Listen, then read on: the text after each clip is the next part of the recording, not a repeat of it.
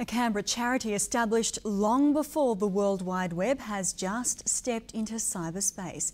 Technical Aid to the Disabled ACT launched its website today. Over three decades, TADACT has designed and tailor-made 6,000 special devices for people with disabilities to give them greater independence.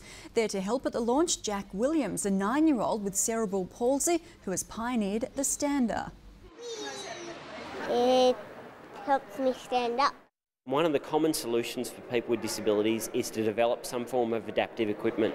Little Jack, he just is on the move all day. TADACT is hoping its website will raise awareness and money to continue to deliver aid devices to Canberrans.